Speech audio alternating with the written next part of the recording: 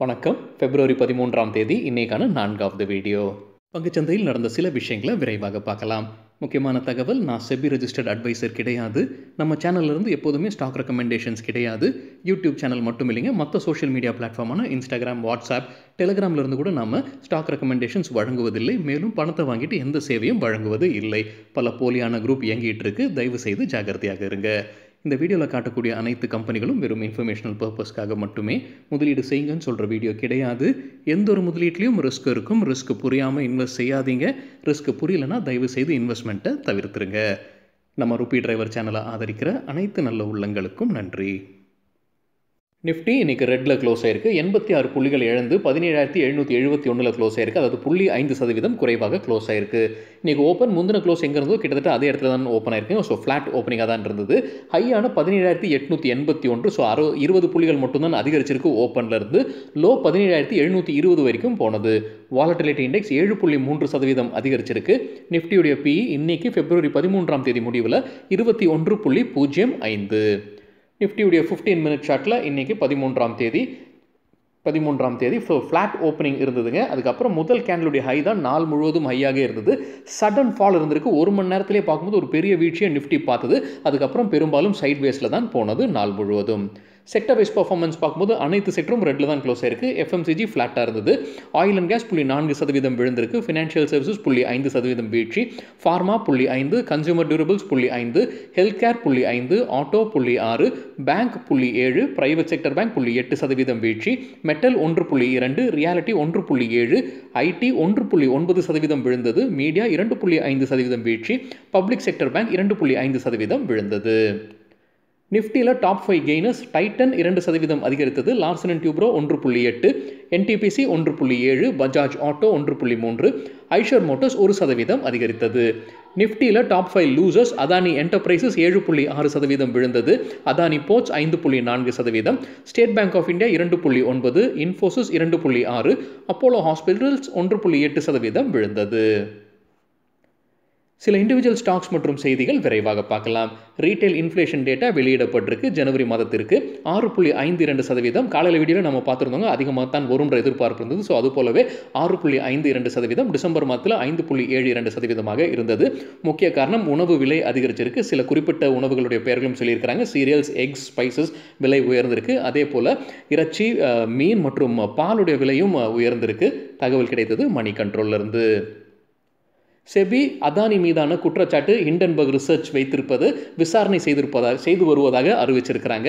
யார்கிட்ட சொல்லியிருக்கிறாங்கன்னா சுப்ரீம் கோர்ட்டில் இதை சொல்லியிருக்கிறாங்க. நமக்கு தகவல் கிடைத்தது எக்கனாமிக் டைம்ஸில் ஸோ ஹிண்டன்பர்க் வந்து நிறைய குற்றச்சாட்டு வைத்திருந்திருக்கிறாங்க. அதில் சிலது வந்து ஆஃப் ஷோர் டேக்ஸ் ஹெவன்ஸ் வைத்திருக்கிறாங்க. ஸ்டாக் மேனிப்புலேஷன் நடந்திருக்கு. ஸோ இதெல்லாமே இப்போது விசாரணையில் உட்படு உட்படுத்தப்பட்டிருப்பதாக செபி சொல்லியிருக்கிறாங்க.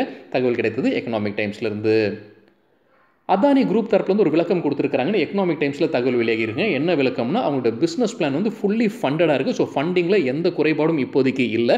அதே போல் ஷேர் ஹோல்டர்ஸ் எதிர்பார்க்கிறத காட்டிலும் அதிகமான ரிட்டர்ன்ஸே வழங்குவோம்ன்ற மாதிரி உறுதி கொடுத்துருக்காங்க அதானி குரூப் நிறுவனம். தகவல் கிடைத்தது எக்கனாமிக் டைம்ஸ்லேருந்து அவங்களுடைய பேலன்ஸ் ஷீட் வந்து ஸ்ட்ராங்காக இருப்பதாகவும் சொல்லியிருக்கிறாங்க. அதே போல் கார்ப்பரேட் கவர்னன்ஸும் ஸ்ட்ராங்காக இருப்பதாக சொல்லியிருக்கிறாங்க. இந்த இரண்டிலும் தான் ஹிண்டன்பர்க் ரிசர்ச் வந்து குற்றச்சாட்டு வைத்திருந்தாங்க. டேட்டா மேனிப்புலேஷன் நடந்திருக்கு. கார்ப்பரேட் கவர்னன்ஸில் தவறு இருக்குது இந்த மாதிரி குற்றச்சாட்டும் ஹிண்டன்பர்க் ரிசர்ச் வைத்திருந்தாங்க. கோட்டக் மஹிந்திரா பேங்க் குறித்து மணி கண்ட்ரோலில் வந்திருக்கிற ஒரு தகவல் அவங்களுடைய இன்சூரன்ஸ் கம்பெனியில் அவங்களுடைய சில சில ஷேர்ஸை விற்பனை செய்வதற்கான வாய்ப்புகள் இருக்குது அவங்க கோட்டக் ஜென்ரல் இன்சூரன்ஸில் ஸ்டேக் வைத்திருக்கிறாங்க. அதில் சிலவற்றை விற்பனை செய்வதற்கான வாய்ப்பு இருக்குன்னு அன்கன்ஃபர்ம்டு செய்தி மணி கண்ட்ரோலில் தக வெளியாகியிருக்கு ஏவிடி நேச்சுரல் ப்ராடக்ட்ஸ் டிவிடெண்ட் அறிவிச்சிருக்கிறாங்க. ஒரு ஷேருக்கு நாற்பது பைசா. அதற்கான ரெக்கார்ட் டேட் பிப்ரவரி இருபத்தி ஒன்று. பேங்கோ ப்ராடக்ட்ஸ் டிவிடெண்ட் அறிவிச்சிருக்கிறாங்க. ஒரு ஷேருக்கு எட்டு ரூபாய். அதற்கான ரெக்கார்ட் டேட் பிப்ரவரி இருபத்தி ஐந்து. Vijaya diagnostic centre quarterly result அறிவிச்சிருக்கிறாங்க. ரெவன்யூ ஃப்ரம் ஆப்ரேஷன்ஸ் ஆயிரத்தி நூற்றி முப்பத்தி ஒரு மில்லியன் ரூபாய். இயர் ஆன் இயர் இரண்டு சதவீதம் அதிகரிச்சிருக்கு. இயர் ஆன் இயர் அப்படின்றது இந்த குவார்டருடன் போன வருடம் இதே குவார்டரை ஒப்பிடுவது. ப்ராஃபிட் ஆஃப்டர் டேக்ஸ் நூற்றி அறுபத்தி நான்கு மில்லியன் ரூபாய். இயர் ஆன் இயர் கீழே போயிருக்கு முப்பத்தி ஐந்து சதவீதம். நைக்கா அவங்களுடைய குவார்டர்லி ரிசல்ட் அறிவிச்சிருக்கிறாங்க. கன்சாலிடேட்டட் ப்ராஃபிட் ஆஃப்டர் டேக்ஸ் எட்டு புள்ளி ஐந்து கோடிகள். இயர் ஆன் இயர் எழுபத்தி ஒரு சதவீதம் விழுந்திருக்கு. குவார்டர் ஆன் குவார்டர் அறுபத்தி மூன்று சதவீதம் அதிகரிச்சிருக்கு. ரெவென்யூ ஆயிரத்தி நானூற்றி அறுபத்தி மூன்று கோடிகள். இயர் ஆன் இயர் முப்பத்தி மூன்று சதவீதம் அதிகரிச்சிருக்கு. சுப்ரஜித் இன்ஜினியரிங் ரிசல்ட் அறிவிச்சிருக்கிறாங்க. கூடவே டிவிடெண்டும் வெளியிட்டிருக்காங்க ஒரு ஷேருக்கு ஒரு ரூபாய் ஐந்து பைசா. அதற்கான ரெக்கார்ட் டேட் பிப்ரவரி இருபத்தி மூன்று. கன்சாலிடேட்டட் ரெவன்யூ ஃப்ரம் ஆப்ரேஷன்ஸ் அறுநூத்தி தொண்ணூற்றி இரண்டு கோடிகள். கடந்த ஆண்டு இதே குவார்டர் ஒப்பிட்டு பார்க்கும்போது நாற்பத்தி நான்கு சதவீதம் அதிகரிச்சிருக்கு consolidated revenue profit after tax முப்பத்தெட்டு கோடிகள் இந்த குவார்ட்டரில் போன வருடம் இதே குவார்ட்டரில் முப்பத்தி ஒரு கோடிகள். ஸோ ப்ராஃபிட் ஆஃப்டர் டேக்ஸும் அதிகரிச்சிருக்கு. கொச்சின் ஷிப்யார்ட் கம்பெனியுடைய ஷேர்ஸ்க்கு கோட்டக் இன்ஸ்டியூஷனல் ஈக்விட்டிஸ் அப்கிரேட் பண்ணியிருக்கிறாங்க ரேட்டிங்கை செல்லுலேருந்து பையாக உயர்த்தி இருக்கிறாங்க.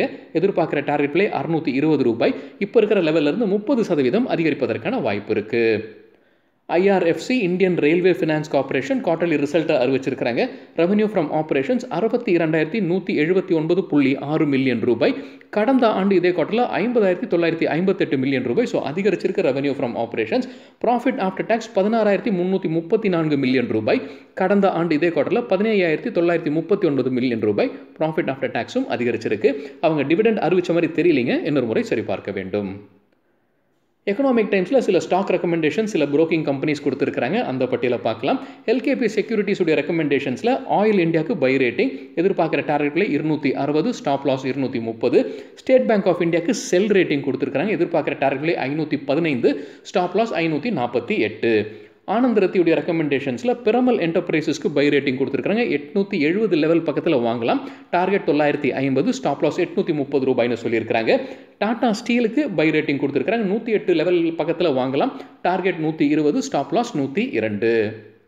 மெஹ்தா ஈக்விட்டிஸுடைய பரிந்துரைகளில் ஹெச்டிஎஃப்சிக்கு பை ரேட்டிங் டார்கெட் பிரைஸ் இரண்டாயிரத்தி எட்நூற்றி எண்பது ரூபாய் ஸ்டாப் லாஸ் இரண்டாயிரத்தி ஐநூற்றி தொண்ணூற்றி ஐந்து.